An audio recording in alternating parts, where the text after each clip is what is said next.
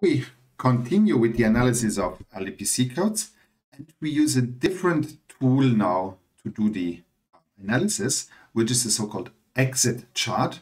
And the exit chart is a very valuable tool because we will use it later to optimize LDPC codes because it's a tool that is very well suited for optimization. So what is an exit chart? And for uh, introducing the exit chart, we essentially start from the fixed point equation, respectively from the iterative update equation. So we have the fixed point equation, and we analyze the behavior of LDPC codes based on this fixed point equation, which is f of epsilon xi, that's this function, equals xi. So if we have a fixed point that is different from zero, it means decoding gets stuck and we cannot converge. So we wanted to know when we can converge. So now we analyzed this fixed point. Um, uh, we can also decompose this function as two functions. So we have one part of this function that describes the action of the variable nodes. That's the function v tilde. And that is epsilon times xi to the power dv minus 1. That is the influence of the variable nodes of this to this update equation. And then we have a check node update equation that is um, c tilde of xi, which is 1 minus 1 minus xi to the power dc minus 1. That is the action of the check node. And we can say that f of epsilon xi is equal to v tilde that is parameterized with epsilon of c of xi. So we just compose the two functions v tilde and c tilde and obtain the function f epsilon xi. So when do we have convergence? We have convergence if there is no fixed point, meaning if of epsilon xi is always smaller than xi. This means in each iteration or in this specific iteration, we will converge downwards. We will decrease the error probability. This should hold for every xi between 0 and 1. That is the fixed point condition. And then we can write this as equivalent. So we just insert this expression. So this is v tilde of epsilon of c tilde of xi should be smaller than xi. And now what we do is we separate this composed function into a variable node part and a check node part. So we take v, or we take the inverse of v tilde epsilon on both sides. And then we have the condition saying that c tilde of xi must be smaller than v tilde minus 1 of xi parameterized by epsilon. So this is an equivalent condition for convergence. This should hold for any C between 0 and 1. So this is something that we can now visualize. So what we're going to do now is we do a graph and we plot the two functions. We plot this function c tilde c, function of c, and we plot the function v tilde epsilon minus 1 of xi. And if v tilde minus 1 of xi is strictly larger than v tilde of, uh, than c tilde of xi, we have convergence. So let's do this. This is what we have. So we plot v tilde minus 1 and c tilde of c in a single diagram. This is what is shown here. And then we, um, what we do then is we uh, start with c tilde, and now we plot v tilde for several values of epsilon. So we plot v tilde minus 1 epsilon equals 0.3. Uh, we can plot it for uh, epsilon equals 0.4292. Recall this is epsilon star, this is the threshold. And we can plot it for v tilde minus 1 of 0.5. Recall plotting v tilde minus 1 means plotting with flipped axis.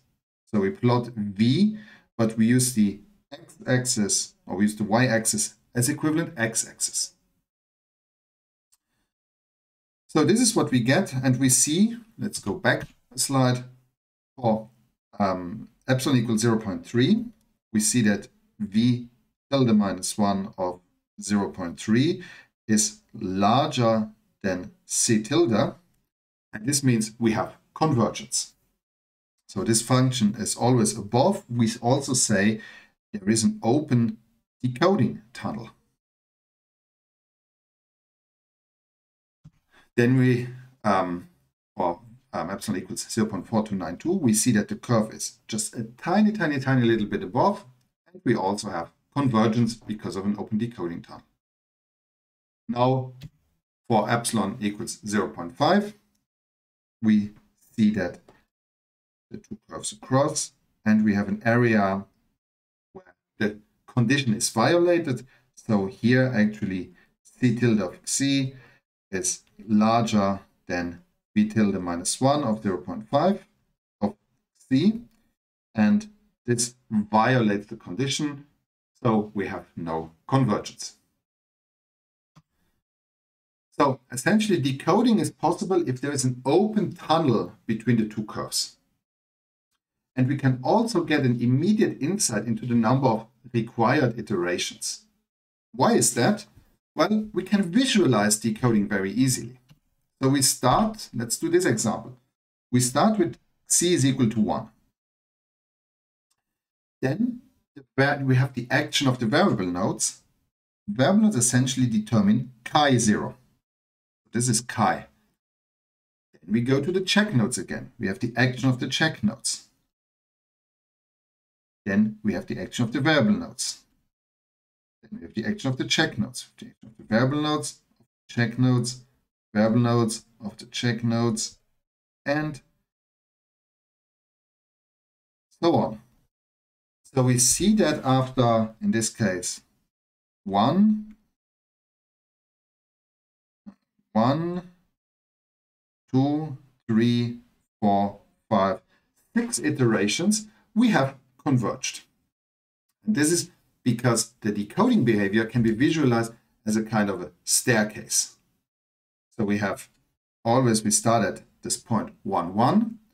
Then we move to the variable node curve. Then we execute check nodes. Then we execute the variable nodes. We execute the check nodes and so on. So decoding can behave as a uh, decoding behavior can be visualized using this staircase function. That is very nice. Okay, so um, here is the example. So decoding starts at the upper right corner, and one decoding iteration corresponds to one step of the staircase. And here we require nine iterations to reach error-free decoding. Okay, so this is the uh, essentially the exit chart. Um, the exit chart can be formalized a little bit. Um, we're just going to formally introduce it because what we did here um, can be later extended to other channels as the binary erasure channel. Therefore, we introduce a little bit of formalism because in other channels, we don't have an erasure probability. We need to have some other measure. This other measure is a measure we know from information theory. It's the mutual information. So let's take a look at uh, how we can formalize this a little. First, we define something that is called an extrinsic vector. So an extrinsic vector is essentially a vector where we remove one component. So for instance, uh, if we have a received vector y, then the extrinsic vector y tilde i is essentially the vector where we remove position yi. So it's y1, y2 up to yi minus 1. Then we continue yi plus 1 up to yn. So the vector y tilde i is essentially the vector y excluding the value at position so here we have a couple of examples. y tilde 1 is the vector y2 to y7. Y tilde 2 is the vector y1, y3 up to y7, and so on. So that is what we call an extrinsic vector. Now we can define an exit function or an extrinsic function. And uh, we're just going to define what it is and uh, calculating these extrinsic functions a little bit more complicated. We're not going to do this, we're just providing the results. So an extrinsic function depends on some code. So we have a code nk, and we choose the code with x with some probability p of x, where usually p of x is 2 to power minus k. So every code word is chosen with the same probability. And then we transmit this code word over a channel, so we receive a vector y. Now the exit function, which is called IEJ, is the mutual information between the bit at position j, xj, and the vector yj tilde. So it's the information that is transferred from one bit to the other bits in the code word vector, except the bit at position j. So the information between one bit at position j and the received vector excluding the position j. Okay, so what is this? This is, um, we insert the definition of the mutual information. This is the entropy of bit xj minus the conditional entropy of bit xj given the received vector y tilde j, so excluding yj. And this we can do for every position the code word. And then we can take the average over all positions. So then the average exit function, this is what we are interested in, is just the average over the j different individual exit functions.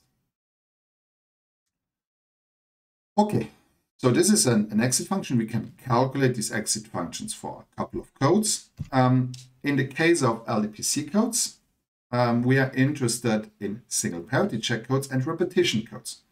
Because we saw that an LDPC code essentially is made up of a repetition code and a single parity check code. So that is the ones that we are interested in. So let's quickly adjust something. Okay, so we start with the parity check code. So we have a single parity check code of length n with n minus 1 information bits. We start with the binary erasure channel with probability xi. This is the channel we are interested in, and we assume that the check node sits there and the input bits are erased with probability xi, the input of the decoder essentially. We know that the mutual information of this channel is 1 minus xi. We have a channel with erasure probability xi. And this as a mutual information of this channel is 1 minus xi, and we denote this mutual information by IA. This is the input to the decoder. That's a so-called a priori mutual information. So we have erasure probability xi. Channel that is erasure probability xi has a mutual information of 1 minus xi. So now we can calculate this exit function and we'll just give the result. The result is that IE is 1 minus c tilde of c. And this is 1 minus c to the power n minus 1. n is the length, or n minus 1 is the number of information bits of the check node. So 1 minus c is the mutual information of the channel, this so-called a priori mutual information. So this is IA to the power n minus 1. So we have finally IE, the single parity check code, is equal to IA, the a priori mutual information, to the power n minus 1. Okay, very well. So we have the first component already. Now we're looking at the repetition code. So again, we're looking at a repetition code of length n. And um, we can calculate essentially the um, extrinsic exit function. And the exit function for the repetition code is 1 minus xi to the power n minus 1. And this is, again, we know that xi would be the uh, input uh, mutual information. So this is 1 minus ia to the power n minus 1. So uh, now we can put everything together. So um, we know that in the case of an LDPC code, we have a variation because the bits are not transmitted over the same channel. We have one bit that is coming from the communication channel, the actual channel, and we have n minus 1 bits of the repetition code that are coming from the graph. So they are erased with some probability c. And 1 is erased with probability epsilon. So and in this case, we have the following, which is relevant for our analysis. The exit function of this variant is 1 minus epsilon c to the power n minus 2, which is 1 minus epsilon 1 minus ia to the power n minus 2. Okay, so now we put everything together. So we know the LDPC code of a regular code consists of check nodes of degree dc, which are single parity check codes of length dc. The variable nodes are repetition codes of length dv plus 1. One bit is transmitted over the channel, and the other dv bits, they are transmitted over the graph, which is essentially a, a binary erasure channel with erasure probability xi. So this is uh, summarizing what we have. We have a variable node.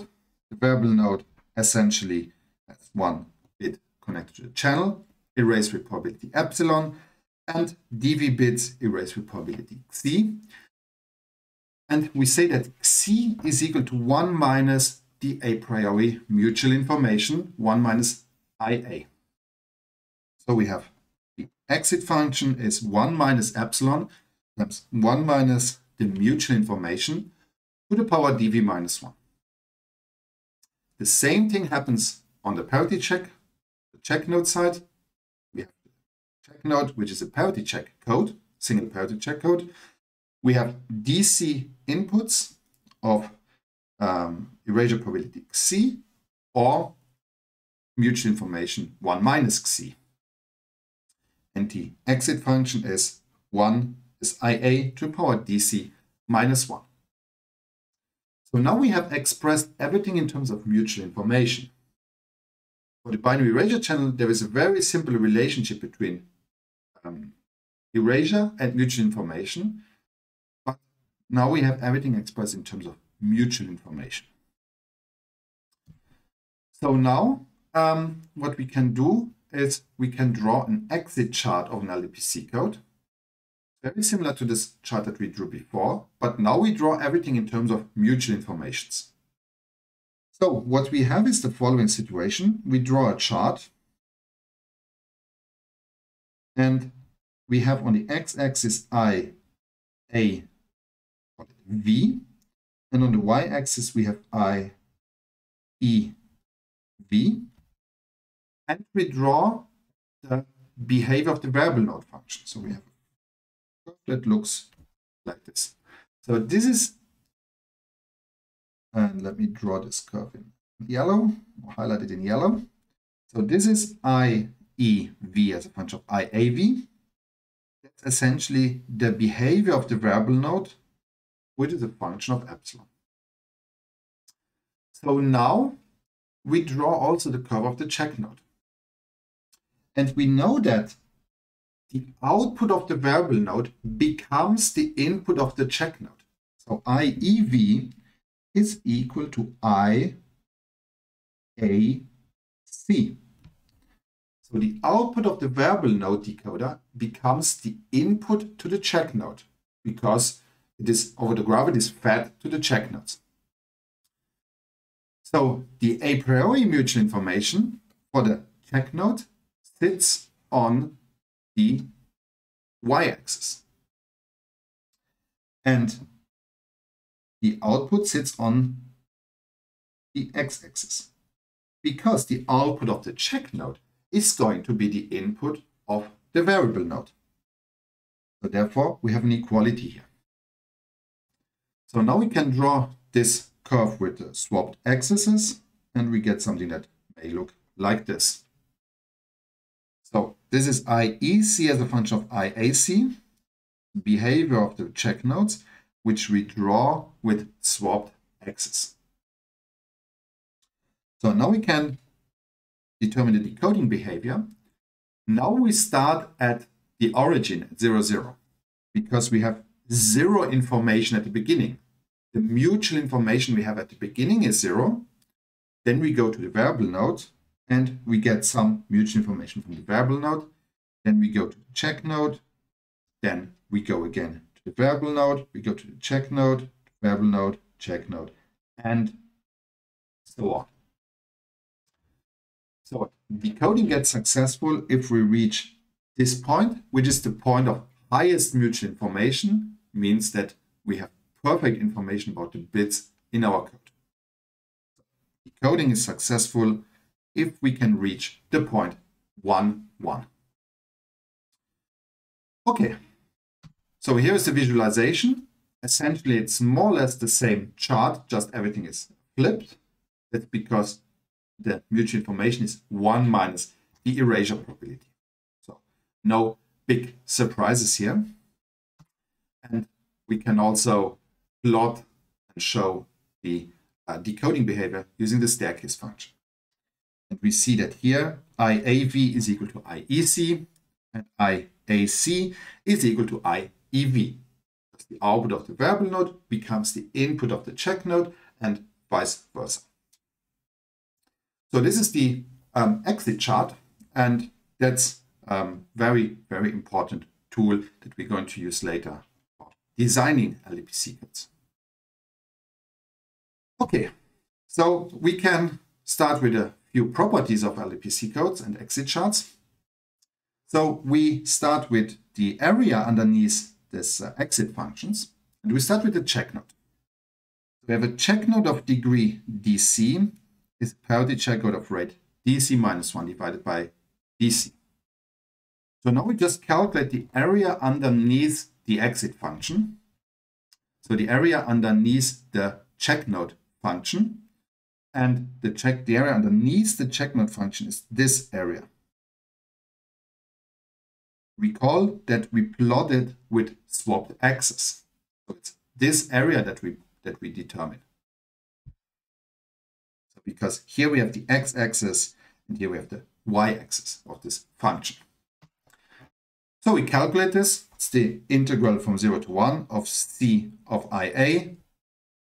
Um, and uh, we insert c of ia is ia to the power dc minus 1. That's a fairly simple integral.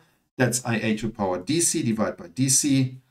And uh, from 0 to 1, this is 1 over dc essentially, which is equal to 1 minus dc minus 1 over dc, which is equal to 1 minus the rate of the parity check code. So the area underneath the function is completely characterized by the check node degree. That's also the only variable it depends on. So that's quite natural. And uh, now we do the same for the variable node exit function. So now the variable node exit function, now we calculate the area underneath. And the area underneath is this area. Now. Here we don't have swapped axes, so we calculate this area. So that's what we do. So uh, again, the integral is fairly simple. So this is 1 minus epsilon, integral from 0 to 1 of tau to the power dv minus 1 d tau. This is 1 minus epsilon divided by dv. So again, it's depending on two parameters, epsilon and dv, and it's characterized by those two parameters. And we see also the curve changes when we change epsilon, so it's natural that the area also changes if we change epsilon. So here is a visualization. we have the variable node function. This is the area for the tree 6 code. It's 1 minus epsilon over dv.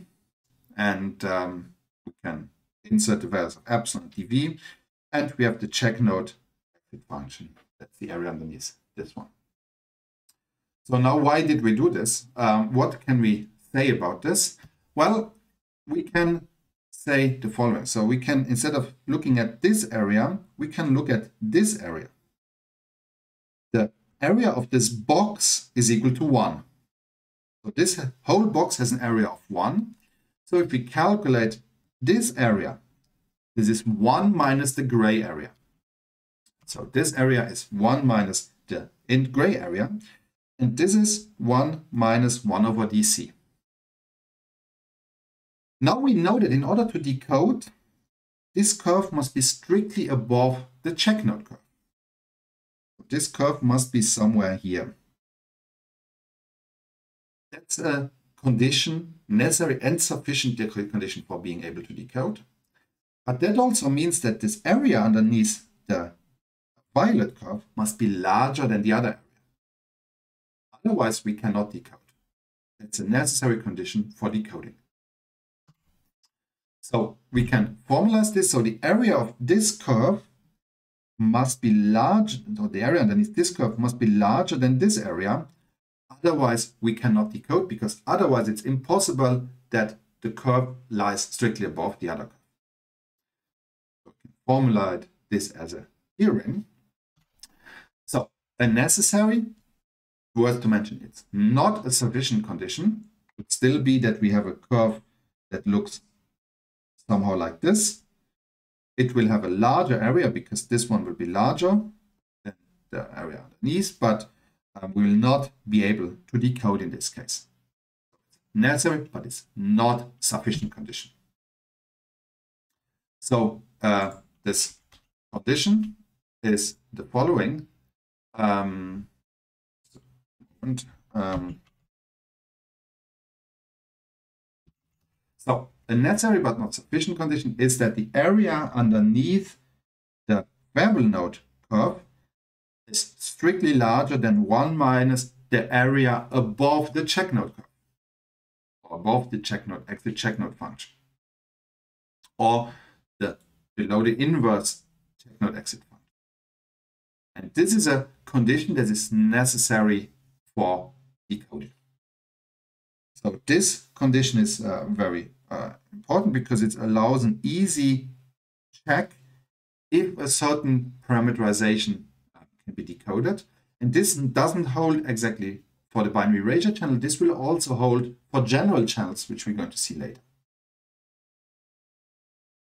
So if we plug in the exit functions that we have just calculated for the binary erasure channel, then we can massage the expression a little bit and we get the following um, condition we get the condition that epsilon must be smaller than dv over dc, which is 1 minus the design rate of the code. Okay, this is not surprising because this is the channel capacity. So we cannot decode if we are above capacity. We cannot surpass capacity.